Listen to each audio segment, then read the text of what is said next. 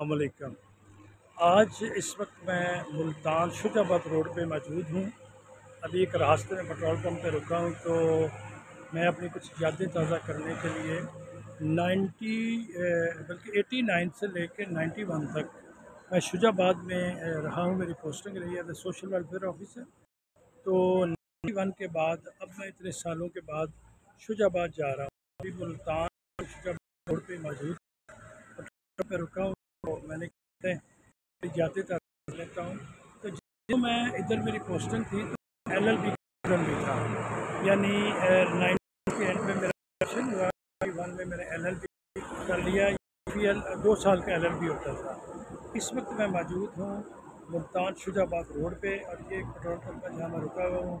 تو میں ملتان بھی بہت کم آتا ہوں، لیکن میں ملتان کی ترقی کو دیکھ کر بھی سمجھتا ہوں کہ ملتان کے جو شہید کے لوگ ہیں، ان کا گلہ رہتا ہے کہ جی ساری ترقی لاہور کی ہو گئی، اپر پنجاب کی ہوگی سینٹرل پنجاب کی ہو گئی۔ کیونکہ میں سمجھتا ہوں کہ ملتان کو جتنا میں نے دیکھا ہے، ملتان روڈ سے جو ملک کا جو روڈ نکلتے ہیں وہ بھی کسی سے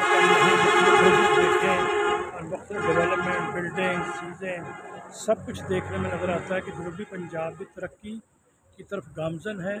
اگر ہم ہر وقت گلے ہی کرتے رہیں کہ جی کچھ نہیں ہوا، کچھ نہیں ہوا بہت کچھ ہوا ہے۔ تو انفراسٹرکچر میں بہت بہتری آئی ہے۔ مختلف روڈز بڑے اچھے بنے ہیں بلڈنگز بنی ہیں۔ لوگوں کی فیسیلیٹیشن کے لیے بہت کچھ ہوا ہے۔ میرا خیال ہے کہ یہ کریڈٹ یوسرزا گرانی اور اس کے جو گروپ کے لوگ ہیں، ان کو بھی جاتا ہے کہ انہوں نے جنوبی پنجاب میں پاکستان کی جو سیاسی ان کی وابستگی ہے اس حوالے سے جو موقع بھی ملا ہے، انہوں نے یا ترقیاتی کاموں کے لیے بہت کام کیا ہے تو اس کے ساتھ ہی میں اجازت چاہوں گا، کیونکہ میں نے تو یہ بتانا تھا کہ جنوبی پنجاب کے جو دوست قلعہ کرتے ہیں کہ ہمارے ہاں ترقی اس طرح نہیں ہوئی۔ میں نے تو اپنی آنکھوں سے دیکھا، محسوس کیا جنوبی پنجاب میں ترقیاتی روڈس بلڈنگ سب چیزیں جو ہے بڑے اچھے انداز میں بنی ہیں۔ تو ابھی شجا آباد کا سفر باقی ہے۔